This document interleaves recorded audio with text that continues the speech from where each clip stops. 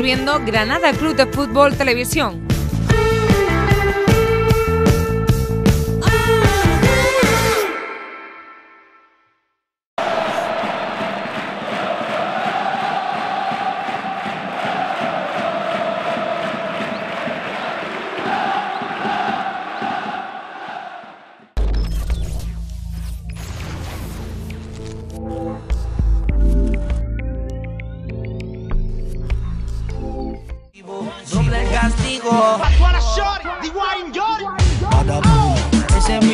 Vamos a dejarlo. Después soltarlo para calentarlo. Es que tu cuerpo me motiva y tú me pones crítico. Como una explosión para vos. Es- Ese miedo vamos a dejarlo.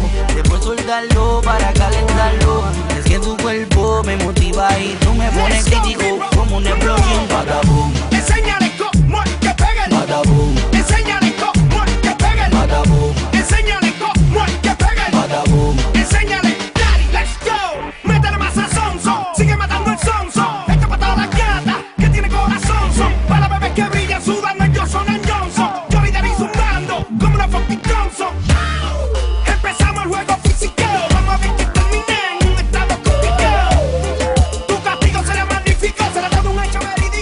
Y ahora sí, arrancamos nuestro plan B turno, como cada martes para hablar, como cada semana para hablar del filial del equipo de Joseba Aguado, que viene de una derrota, viene ahora después otro partido y el miércoles otro partido, jornada adelantada. Además, este partido, el del próximo viernes, será el próximo viernes en el Núñez Blanca, de hablaremos también, y luego iremos hasta Cartagena, irá el equipo de José Aguado hasta tierras murcianas. De todo esto vamos a hablar a partir de ahora en los minutos que nos restan de programa. Jesús Albarracín, ¿qué tal? Buenas noches. Muchas gracias por haberme invitado a tu programa, amigo Viñuela. Siempre un placer. Es un topicazo, pero bueno, estás bien, ¿no? Eh, Siempre recordando al amigo Cayeti. Sé que tanto te gusta.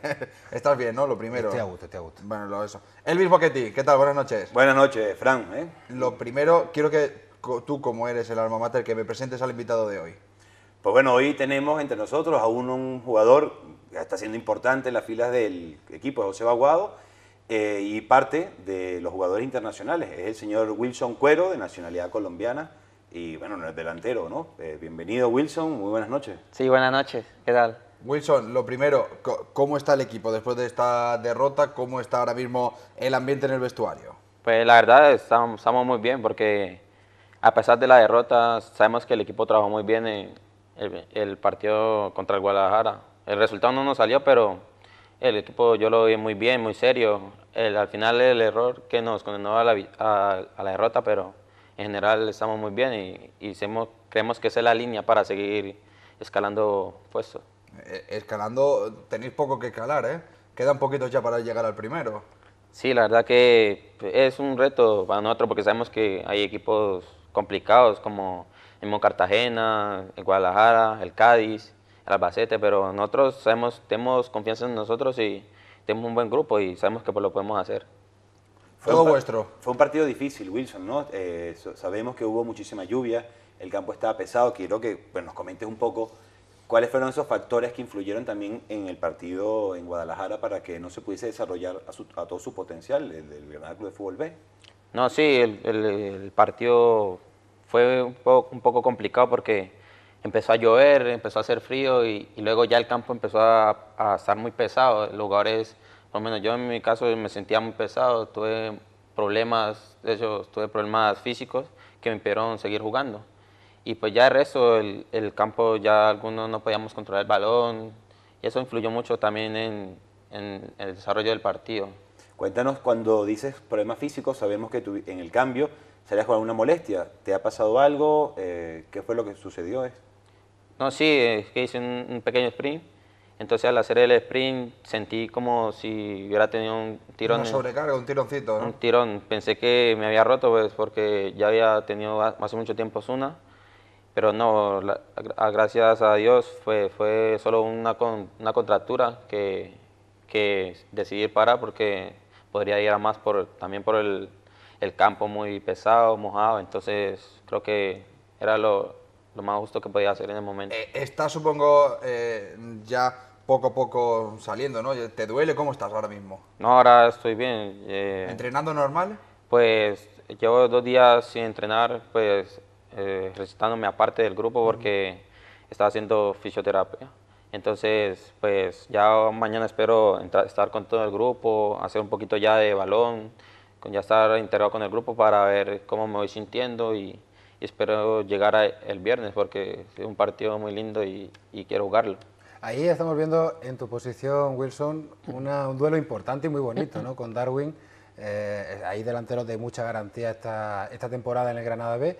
¿Cómo estás llevando esa rivalidad entre los dos? Muy sana, imagino, ¿no? Sí, la verdad que siempre nos estamos, sabemos que una competencia a, a ser bonita, pues intensa, sabemos que cada semana hay que convencer a Mister para estar en el, en el once inicial. Y pues con Machi, lo que es con Titi también, que son, somos los delanteros que hay ahorita en el equipo.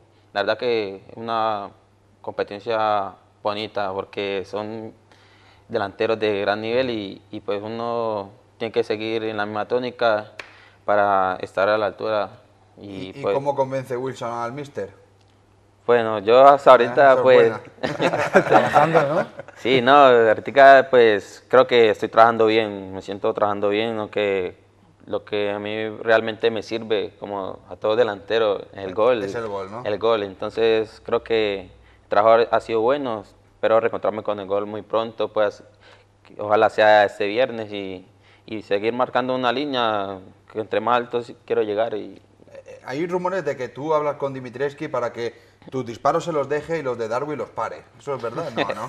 No, no, que va, que va. Nosotros siempre, incluso a veces siempre nos apostamos a un desayuno, que eso también motiva cuando hay trabajos de Yo por un definición. desayuno mato, ya te lo digo. Claro, ya por un desayuno ya es diferente porque sabes que uno pues te, te da un motivo más para, para se- seguir y, y, marcar muchos goles. otro, ¿no? Claro, seguir- ser el mejor que el otro. A mí me gustaría saber, Wilson, tú después que entrenas, te vas a tu casa, ¿qué, te- qué haces en la tarde? ¿Qué te gusta? Algo por ahí sé que tienes alguna afición. Coméntanos más o menos qué hace Wilson Cuero cuando llega a casa y ya pues ha cumplido con el trabajo con el club.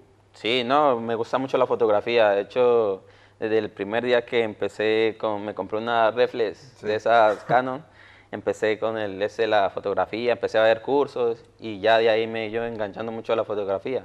Y pues ahora es un lindo hobby que lo estoy estudiando. Quién sabe, algún día me dé por, Y por de eso. los, de los tres, ¿quién es el más fotogénico? El que mejor saldría en la foto. Boquetti. Boquetti. Habrá que verlo, como se dice. Habrá que hacer prueba, ¿no? A mí Claro, no, si amable, quiere que le dure la cámara. Mientras, mientras no pidamos desnudos, yo